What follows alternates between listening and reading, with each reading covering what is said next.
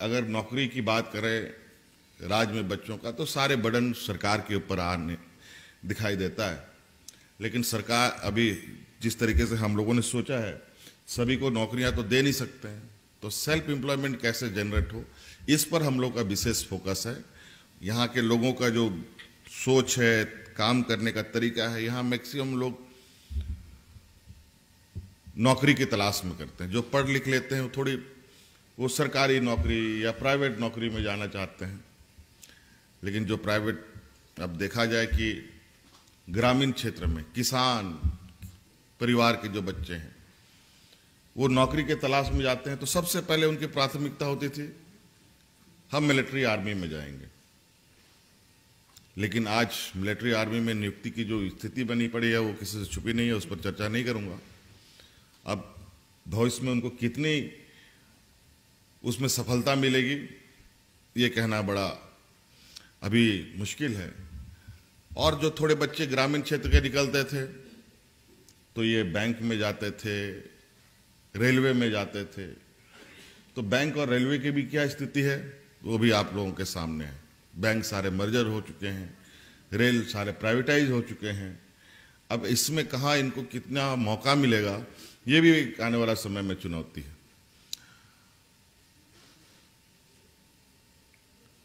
कुल मिलाकर अगर नौकरी की बात करें राज्य में बच्चों का तो सारे बर्डन सरकार के ऊपर आने दिखाई देता है। लेकिन सरकार अभी जिस तरीके से हम लोगों ने सोचा है, सभी को नौकरियाँ तो दे नहीं सकते हैं तो सेल्फ एम्प्लॉयमेंट कैसे जनरेट हो, इस पर हम लोग का विशेष फोकस है। और रूरल इकोनॉमी कैसे एक स्टार्टअप में चेंज हो, ये हम लोग का फोकस है। और इस स्टेट का मैं समझता हूँ कि अगर ग्रामीण इलाका हमारा जहाँ 80 परसेंट लोग रहते हैं, अगर उनको हम स्ट्रांगली इस्टेब्लिश कर लेते हैं तो डेफिनेटली है कि वो एक ग्रास रूट लेवल का चीज़ है। अगर वो स्ट्रांग हो गया तो फिर आगे चलने में दिक्कत मुझे लगता है नहीं होगी, क्योंकि सरकार जिसकी भी होती है, वो तो आम लोगों की चिंताएँ करती है।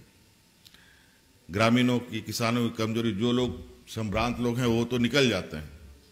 लेकिन जो पीछे रह जाते हैं, उनके लिए काम करने की आवश्यकता है।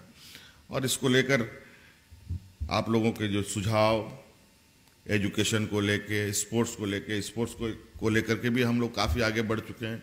पहली बार स्पोर्ट्स पॉलिसी इस राज्य में बना, जो आज के दिन में हमने स्पोर्ट्स पॉलिसी के माध्यम से बच्चों को जॉब में भी रिजर्वेशन देने का एक डिसीज़न ले रखा है।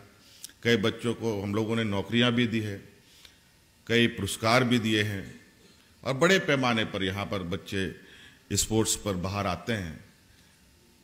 महिला हॉकी टीम में आपको जानकर खुशी होगी कि पूरे टीम में में पाँच से छह बच्चे झारखंड की होती हैं। महिला टीम की जो, महिला हॉकी टीम की जो संख्या है उसमें।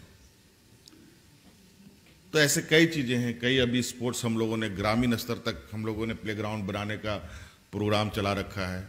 ब्लॉक लेवल में, जिला लेवल में, कई जिलों में एस्ट्रोटर्फ्स के हम लोगों ने स्टेडियम सेंक्शन किए हैं। उनके लिए एक अलग पॉलिसी जो हॉस्टल के साथ उनके स्पोर्ट्स को कैसे हम और एक्सप्लोर कर पाए। मुझे लगता है कि यहाँ शिक्षा की कमी होने की वजह से बच्चे थोड़ा सा स्पोर्ट्स पर ज़्यादा आकर्षित हुए हैं, जिससे यहाँ पर मुझे लगता है शुरू से ही बड़े पैमाने पर खेल में लोग आगे आए हैं। और इसमें भी इन लोगों ने अपना नाम कमाया है तो निश्चित रूप से इसमें सरकार को काम करनी चाहिए और बेहतर करने की आवश्यकता है। और हमको लगता है कि स्पोर्ट्स पर जो फोकस हम लोगों ने ले रखा है, उसमें आने वाला समय में डेफिनेटली हम लोग एक अच्छे जगह पर होंगे। इसके अलावा हमारे यहाँ एक झारखंड लाइव की और वीडियोस को देखने के लिए चैनल को सब्सक्राइब करें और सीधे नोटिफिकेशन पाने के लिए बेल आइकन दबाएँ।